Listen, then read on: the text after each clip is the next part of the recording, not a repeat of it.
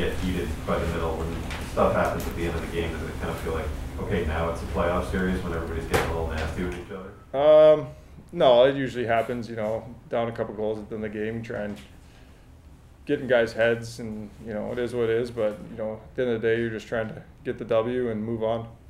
Do you find though that stuff like what happened after the final buzzer last night can have a carryover effect into the next game? Not necessarily, no, you're not gonna go out looking for fights, I get that, but just in terms of physically engaged and, and right off the bat, things like that? Um, yeah, but you don't want to you don't want to get outside your game. You got to keep your head. You don't want to be taking stupid penalties, especially in the series this tight.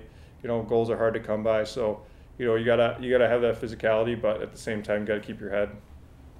You, I guess impressed is the wrong word, but the, the way you guys played against Pittsburgh, was kind of wide open and, and a lot of goals, and you had to come back, and now you're two of the best defensive teams from the regular season playing that way. Is are you pleased that you guys have kind of gone back to that mentality for the most part in this series?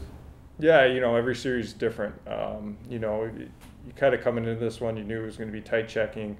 Um, you know, they play a very north-south game where you know we got to get pucks in, and you know it's not it's not as freewheeling as it was in that Pittsburgh series. So, you know, you got to kind of you got to kind of adjust to each game, each series. But yeah, I think we've done a good job uh, for the most part, uh, playing good defense. You talk about the opportunity now you have, game four, chance to even up the series. Yeah, you know those are you know obviously a huge game. You don't want to go down three one. Um, so we got to come out, you know, maybe a little tired defensively. Gave up maybe too many scoring chances last game that we weren't giving up uh, in Carolina. But um, yeah, you know, it's a it's a huge game for us.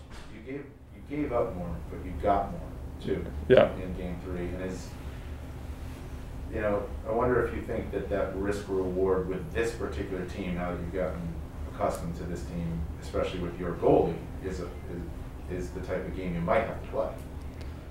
Yeah, but at the same time, still, you know, don't want to be giving up breakaways, two on ones. Uh, we still have to be smart defensively, um, you know, and pushing for that offense can kind of bite you sometimes if you're, you know, jumping four guys in the rush and, you know, you don't get the opportunity, missing that, and they're coming back the other way. So, you know, it's a little, it's a little give and take there. You gotta be, you gotta be pushing for the offense, but you also gotta be careful in a tight series like this. What, what does it mean to have, have that crowd in a game that's important like this, to have the whole crowd?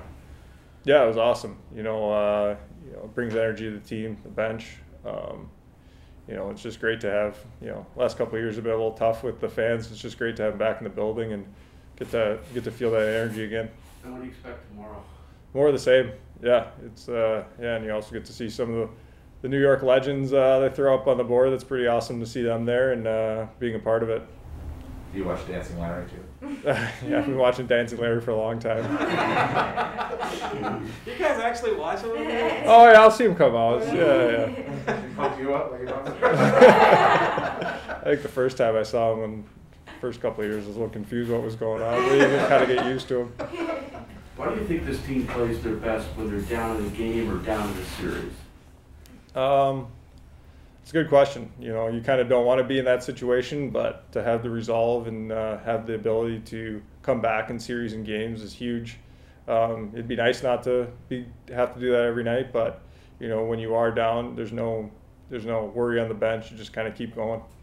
As far as kind of the, the risk reward we were talking about, do you feel like the the right answer to that is, is closer to what what you guys were playing like yesterday, or more like games one and two? Um, yeah, like uh, as a defenseman, I think games in one two. I didn't think we gave up much. You know, uh, creating stuff is not really my uh, forte. So you know, it's.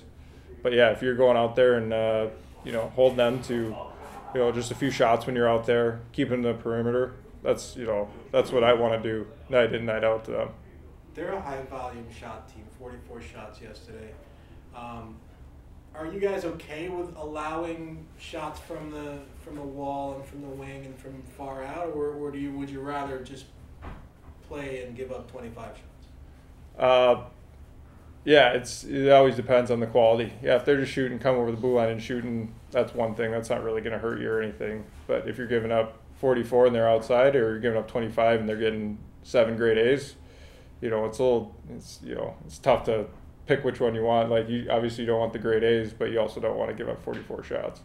is there is there? I mean, I know Igor said last night it was it was good to get him into a rhythm and see a lot of shots and stuff. But is there a is there a point at which it becomes too many? Like, is there a fatigue factor? Like, you know, over and over and over again, like stopping forty shots is gonna get a guy tired.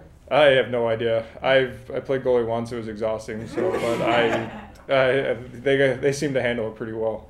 What about when you're, you're playing defense in front of Igor and just the confidence that you get from when he's on like he was yesterday? Yeah, it's awesome. You know, and even the way he moves the puck makes my job a lot easier. Just you know, the confidence he looks like he has every save and how comfortable he looks gives everyone in front of him more confidence. And you know, when he's on top of his game, he's awesome.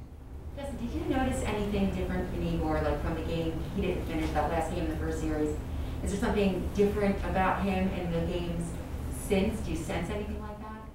No, honestly, he just comes to rink the same way every day. Um, you know, and I think that's one of the biggest things when you're a young guy to have that routine, have that mindset. If you just do the same thing, doesn't matter, good game, bad game, you just know what you have to do to be ready for that next game.